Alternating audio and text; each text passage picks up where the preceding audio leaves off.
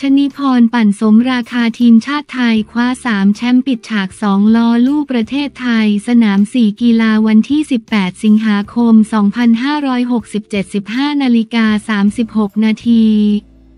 ชนิพรบัตริยะ นักปั่นสาวจากทีมสำนักงานปลัดกระทรวงกลาโหม ทำผลงานสุดยอดสมราคาทีมชาติไทย ด้วยการกวาด 3 แชมป์จากรายการเปอร์ซูด 3 กิโลเมตร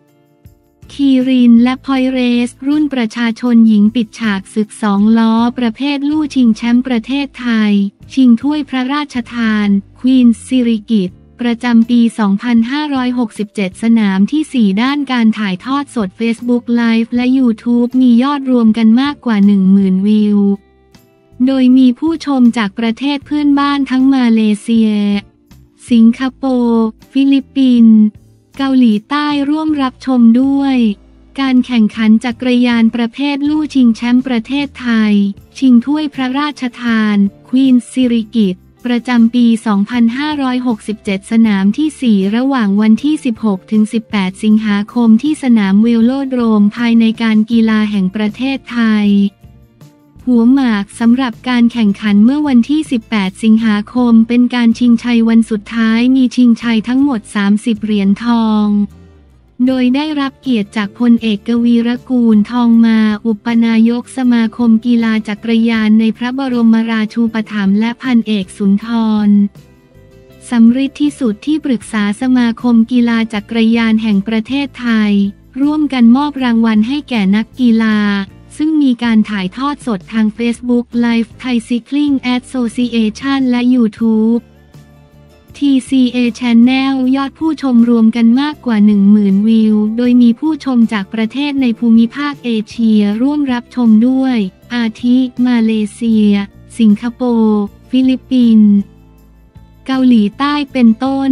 ด้านผลการแข่งขันชิงชนะเลิศรุ่นที่น่าสนใจมีดังนี้ รายการเปอร์ซูด3 กิโลเมตร รุ่นประชาชนหญิงที่ 1 บีนสอทอหญิงชนิพร บัตริยะ นักปั่นทีมชาติไทยจากทีมสำนักงานปลัดกระทรวงกลาโหม ชนะนกรุ่นพี่ ไก่สออหญิงสุภักษรนันตนะ นักปั่นทีมชาติไทยจากทีมสำนักงานปลัดกระทรวงกลาโหม เช่นเดียวกัน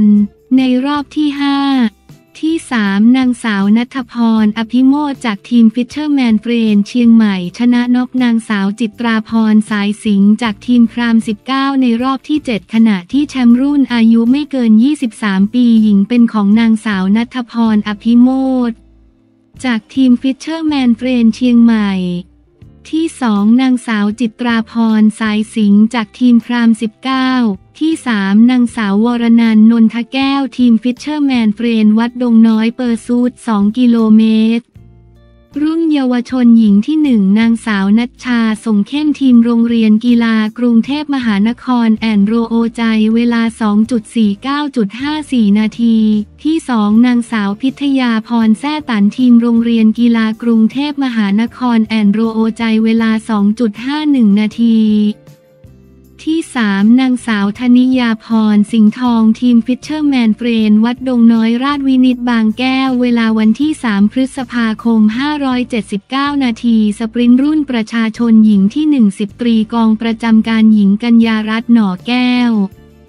นักปั่นทีมชาติไทยจากทีมสำนักงานปลัดกระทรวงกลาโหม ที่สองนางสาวนัทพร อภิโมทจากทีม Fisherman Friend เชียงใหม่ ที่สองนางสาวจิตราพร สายสิงห์จากทีมพราม 19 sprint รุ่นเยาวชนหญิงที่หนึ่งนางสาวนัชชาส่งเข้นทีมโรงเรียนกีฬากรุงเทพมหานคร and Roojai ที่สองนางสาวพิทยาพรแซ่ตันทีมโรงเรียนกีฬากรุงเทพมหานคร and Roojai ที่ 3 นางสาวชินรุ่ง โชติวัฒนาทีมฟิชเชอร์แมนเฟรนวัดดงน้อยสปรินต์รุ่นประชาชนชายที่ 10ตำรวจโทยืนยงเพชรรัตน์ทีมกองบัญชาการตำรวจตระเวนชายแดน STCTHULE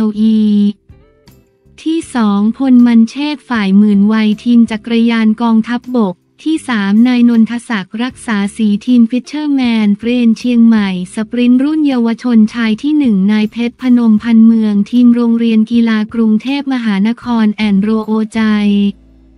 ที่สองนายจีรทีพเกิดสมจิตทีมสำนักงานตำรวจแห่งชาติโกกี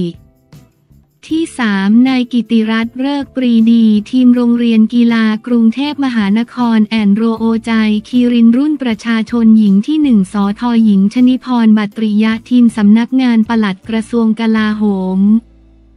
ที่สองนางสาวนัทพร อภิโมททีม Fisherman Friend เชียงใหม่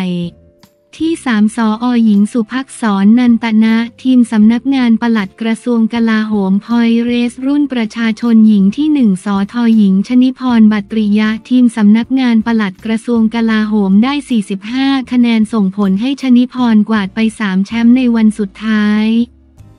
ที่สองสออหญิงสุภักษรนันตนะ ทีมสำนักงานปลัดกระทรวงกลาโหมได้ 34 คะแนน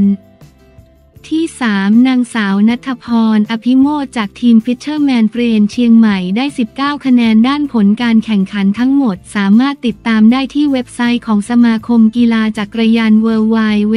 t h a i c y c l i n g o r t h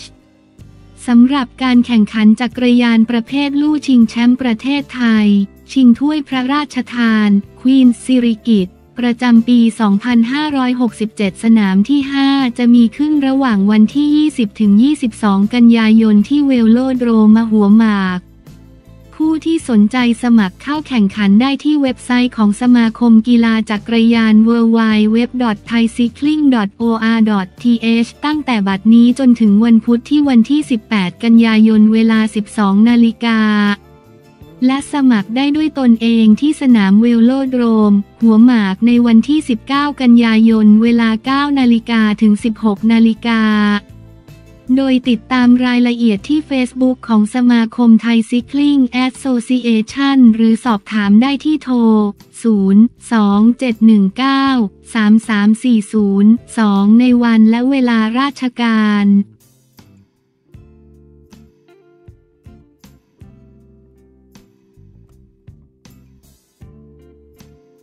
แพทองทานประกาศเดินหน้ากระตุ้นเศรษฐกิจครั้งใหญ่ รอฟังถแถลงนโยบายเดือนนก ยอ ข่าวด่วนวันที่ 18 สิงหาคม 2567 11นาฬิกา43 นาทีแพทองทานประกาศเดินหน้ากระตุ้นเศรษฐกิจครั้งใหญ่ ทุกตารางนิ้วบนแผ่นดินไทยเป็นพื้นที่ของโอกาสของคนไทยทุกคน เตรียมถแถลงนโยบายเดือนนก ยอ เมื่อเวลา 11 นาฬิกา วันที่ 18 สิงหาคม 2567 ที่ทำการพักเพื่อไทยภายหลังพิธีรับพระบรมราชโองการโปรดเกล้าโปรดกระหม่อม แต่งตั้งนายกรัฐมนตรีนางสาวแพทองทานชินวัตรนายกรัฐมนตรีแถลงว่าขอขอบคุณสมาชิกสภาผู้แทนราษฎรผู้มาจากการเลือกตั้งของประชาชนอีกครั้ง พักร่วมรัฐบาลและประชาชนทุกคน ขอบคุณที่ได้มอบความเชื่อมั่นและความไว้วางใจให้ตนเป็นนายกรัฐมนตรีคนที่ 31 วันนี้ดิฉันให้คำมั่นสัญญาว่าจะทำหน้าที่นี้ให้ดีที่สุด ขอบคุณนายเศรษฐาทวีสิน อดีตนายกรัฐมนตรีที่ท่านได้ทุ่มเทแรงกายแรงใจตลอดหนึ่งปีที่ผ่านมาถึงแม้ดิฉันจะไม่ได้วางแผนในการเป็นนายกรัฐมนตรีในครั้งนี้มาก่อน แต่ขอให้ทุกท่านมั่นใจได้ว่า ดิฉันพร้อมและเต็มใจที่จะรับใช้ประชาชนอย่างสุดความสามารถตำแหน่งนายกรัฐมนตรีเป็นตำแหน่งที่มีความรับผิดชอบที่ยิ่งใหญ่ พาประเทศชาติผ่านอุปสรรคผ่านปัญหาต่างๆ นางสาวแพทองทานกล่าวว่า ประเทศไทยของเรายังมีปัญหาเรื่องปากท้องที่รอการแก้ไขอยู่ และตั้งใจว่าการได้รับตำแหน่งนี้ ตนมีความมุ่งมั่นในการทำให้ปากท้องของพี่น้องประชาชนดีขึ้น มีความตั้งใจที่จะผลักดันนโยบายทางเศรษฐกิจอย่างต่อเนื่อง ไม่ว่าจะเป็นการกระตุ้นเศรษฐกิจครั้งใหญ่ ปัญหายาเสพติดยกระดับระบบสุขภาพทุ่นหน้า 30 บาท รักษาทุกที่รวมถึงการผลักดัน Thailand Soft Power อย่างต่อเนื่องที่เริ่มทำมาตั้งแต่ต้น นายกรัฐมนตรีกล่าวว่าตนมีความตั้งใจจะร่วมงานกับทุกภาคส่วนเพื่อผลักดันนโยบายต่างๆ เหล่านี้ให้สำเร็จลุล่วง ขอให้ทุกท่านติดตามการถแถลงนโยบายอย่างเป็นรูปธรรมได้ในเดือนกันยายนนี้ สุดท้ายอยากจะขอขอบคุณพลังที่สำคัญที่สุด พลังอันยิ่งใหญ่คือพลังของพี่น้องประชาชนทั้งที่เลือกและไม่ได้เลือกตน ดิฉันขอสัญญาว่าจะทำหน้าที่นี้อย่างเต็มความสามารถ โดยที่ไม่มีการแบ่งแยกความแตกต่าง ทุกเพศทุกวัย ทุกความหลากหลาย ดิฉันในฐานะนายกรัฐมนตรีคนที่ 31 ในฐานะแม่ในฐานะลูกในฐานะเพื่อนดิฉันมีความมุ่งมั่นตั้งใจที่จะทำให้ประเทศไทย ทุกตารางนิ้วบนแผ่นดินไทยเป็นพื้นที่ของโอกาส เป็นพื้นที่ที่คนไทยกล้ามีความฝัน กล้ามีความคิดสร้างสารรค์และกล้ากำหนดอนาคตของตัวเอง นายกรัฐมนตรีกล่าว